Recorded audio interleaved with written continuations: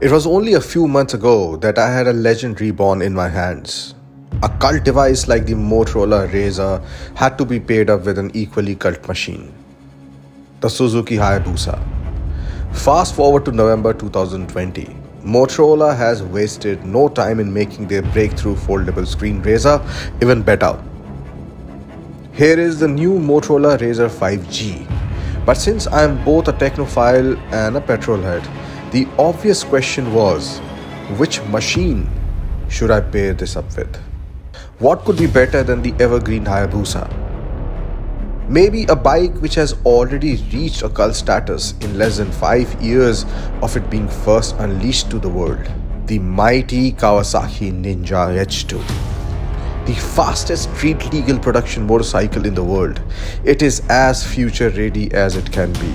Something like the revolutionary foldable display now what they have done in the new Razr 5G is basically make the outer screen much more functional, ensuring that you can do almost everything you need right on the secondary display.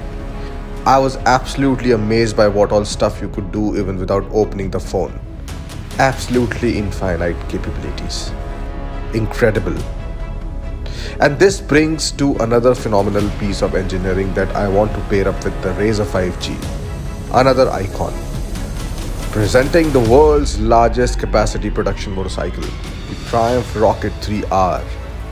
This is also an example of how much you can do in such a small space.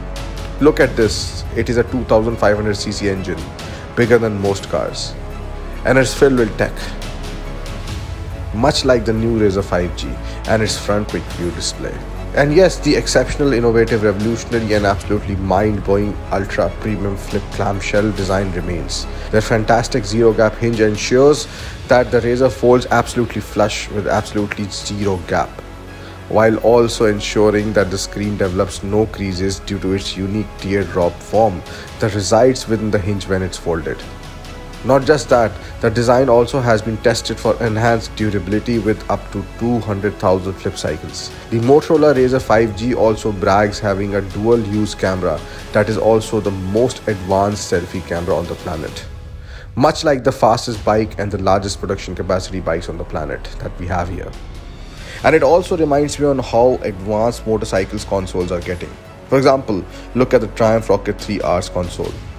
It's like a phone in itself. I mean, as they say, the more the cylinders, the better. I can also say the same about Razr 5G.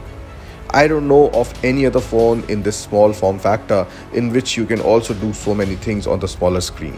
And the best part is that you can continue doing whatever you were on the smaller screen on the bigger one. A total of 8.9 inches of real estate. That means 2.7 inch external display and a 6.2 inch internal foldable display. I'm also tempted to compare the screen to riding modes. When you are low on fuel or want to ride in extreme rain, it's better to switch to rain mode on the Ninja H2. In the same way, it is great to have a smaller screen that consumes much less power. And yet it remains like a razor, ready to slice through whatever comes its way.